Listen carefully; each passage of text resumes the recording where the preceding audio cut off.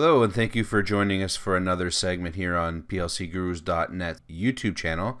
Uh, specifically, uh, we're looking at the Stratix 5700 and now some of its more advanced capabilities. So, this will be part of our Networking Essentials video series. So, today, what I wanted to look at is some of the VLAN routing or inter VLAN routing capabilities of this Stratix 5700.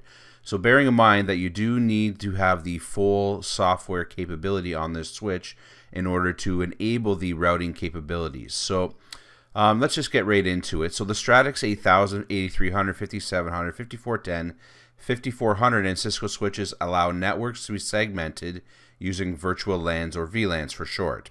And again, we're, we're going to be honing in specifically on the 5700 because that's what I happen to have here in my lab environment. So what are VLANs? Well, VLANs are used to segregate traffic on networks. Um, and inter VLAN routing is a mechanism used to allow a device to communicate with devices on different VLANs. So a typical scenario uh, where this would be needed is where there, you have several automation devices such as PLCs, controllers, each on its own VLAN. However, they all need to work together as part of a larger SCADA or data collection type system where the SCADA system needs to communicate with each individual controller that's been configured on its own separate VLAN. And like I said, the, the 5700 does have the VLAN routing provided you have the full software out of the box. Okay, before we dive right into the configuration of the Stratix itself, I thought we'd spend a couple of minutes just reviewing how my lab environment is set up. Um, I think it's important, and then you can refer back to it as we're going through some of the configurations if you're, you're thinking to yourself, why the heck is he doing this? Okay, so just very simply, I have two, effectively two controllers, two Ethernet bridges uh, in my lab environment here. And you can see I'm going to set up the controller A that's going to be on configured on VLAN 10 with an IP address of 172.16.10.10 using the slash 24 or 255.255.255.0 subnet mask. And then I have another controller, controller B we'll call it, and I'm going to configure that controller on VLAN 11. And it follows that I'm going to set the IP address of that guy up at 172.16.11.10 slash 24 again. And you can see here I have my Stratix switch and with routing enabled. So out of the box, this switch will not have routing enabled. We will have to enable that, and I'll walk you through how to do that. It's very straightforward. Um, and we're going to set the router IP address on VLAN 1, the default VLAN, at 172.16.1.1. And then my development PC, again, is going to be on that same VLAN 1 uh, at 172.16.1.245. And we should see that after we go ahead and make all of the VLAN routing configurations through the VLAN management tool, uh, that this PC over here on the dot one network should be able to communicate with both the controller A on the dot 10 network here and controller B on the dot 11 network. And yeah, if all goes well, that should be no problem at all. Okay, so I've just initiated the express setup on the switch. If you haven't seen my video on how to initiate the express setup process, I do, do encourage you to head on over to our YouTube uh, YouTube channel, sorry, or head on over to plcgurus.net and you can view it right there directly on our website and become a member at the same time. Uh, okay, so let's just go ahead and get right into our device manager. Uh, you can see it's, it's prompting me for additional login settings. I'm going to go ahead and just copy in the IP address of the switch. Oh, and network change. Oh, there we go. And okay, so the default username and password, admin and switch. And we're going to go ahead and log in here. So the first thing we want to do is just initiate the Express setup and set up the uh, IP address for what eventually is going to be our router. So we'll just give this a minute. Okay, and here we go. So I'm going to go ahead and give it a host name. I'm going to call it uh, router and we'll leave the management VLAN at 1. Um, and the IP address is going to be 172.16.1.1. Okay, and that's just as we said in the, um, the, the PowerPoint slide earlier, okay? And we'll just leave this at the default switch password. Okay, I'm going to click submit there, and then we'll go ahead and get logged in with the new IP address. Okay, so let's head on over to our network uh, settings here, and we'll go ahead and change our NIC address to the subnet of the new IP that we created for the router. So let's go 172.1.1.245. I'm just going by what we set up in the slides of the lab environment. And again, we're going to use a 255 255 2550 address there for the subnet. And the gateway will be the router itself. So that will be 1.1 that we just configured in the router.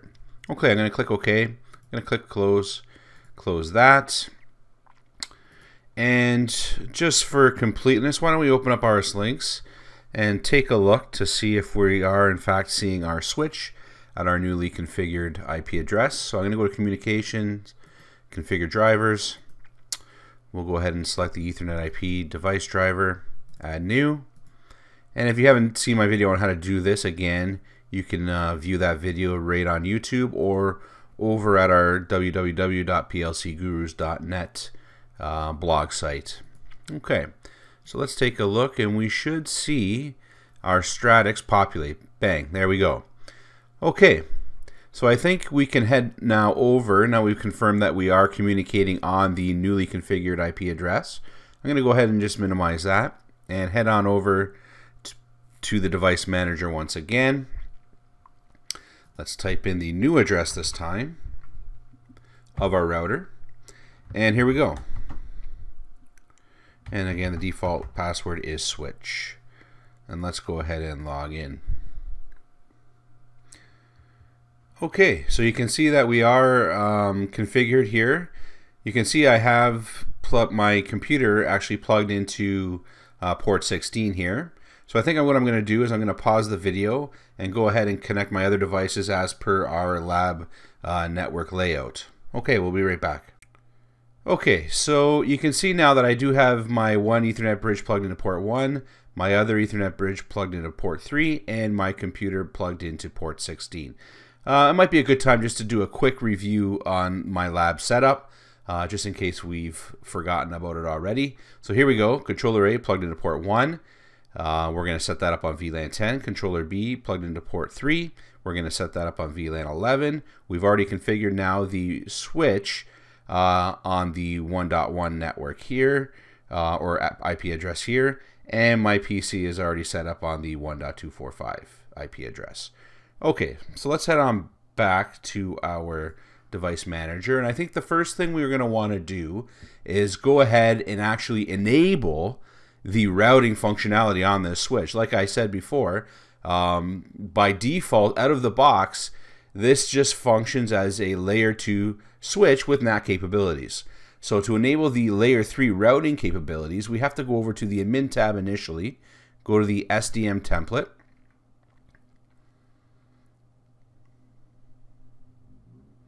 and choose the LAN-based routing template. And then click submit and this is going to kick it. So it says okay yeah let's enable routing. And this will take a few minutes so we might as well pause the video and come on back. Okay so we have success here. It says the template has been changed successfully. Uh, so it took about uh, I would say three or four maybe five minutes all in all. Okay. Okay so now that we have that done let's go ahead and head over to the configure tab and head down to routing And what we want to do here is we want to go ahead and enable routing by cl clicking this checkbox. And then for the gateway, we want to route all traffic from any VLAN. So we're going to go ahead and type in 0.0.0.0 here. Okay, and then we're going to click submit.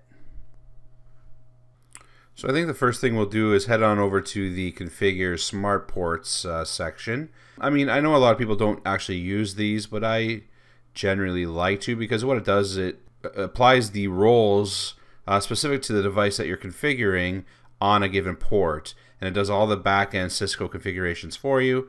Um, so if you're not a Cisco IOS guru, um, this is probably the easiest way to go about it to ensure that um, your settings are optimized. So again, switch port 1, we're going to go ahead and assign an automation device to that because we have our PLC, one of our PLCs plugged there. I'll click save. Then I'm going to go ahead and go over to port 3. Again, automation device. Click. Okay. Alright, I don't know why it's doing that. Let's try again. Oh, maybe I'm just going too quick. Uh, click save. And then I'm on port 60 with my computer. I'm going to go ahead and set that up as a desktop for automation. And I'm going to click save there. Okay. So now that we have our smart roles configured, let's go ahead and start setting up our VLAN management. So I'm going to go click VLAN management. And you can see by default, every port was assigned to the default VLAN, the only VLAN that's currently configured in the switch, which is VLAN 1. And uh, of course, it's going to get assigned the 172.16.1.1 address we gave the router. So let's go ahead and, and, and configure the two VLANs that we're using, namely VLAN 10 and VLAN 11. So I'm going to do that by clicking Add, and I'm going to give it a VLAN ID. I'm going to give this one a 10, and let's just call it VLAN 10. And we're going to go ahead and give it a static IP address, and this is going to be 172.16.10.1 with the subnet mask of 255, whoops, dot 255 dot 255 dot 0. Okay, and that'll just take a second to configure that VLAN for us. And there it is. Uh, notice we don't have any ports assigned to it yet, but we will do that. So I'm going to go ahead and add the VLAN 11. And so let's go ahead and give it a VLAN ID 11. We're going to call it VLAN 11. And again, we're just going to repeat what we just did. But this time, we're going to give it an address of 11. And click OK. And give it a second. Okay, so now we have our three VLANs configured. And so now let's head over on over to the uh, port settings and assign some ports to these different VLANs. And you go up to the configure port settings. And what we want to do now is assign port 1, which is the PLC that we want assigned, our controller A, to this VLAN. So let's go ahead and change the access VLAN, which is currently set to default 1, and choose VLAN 10.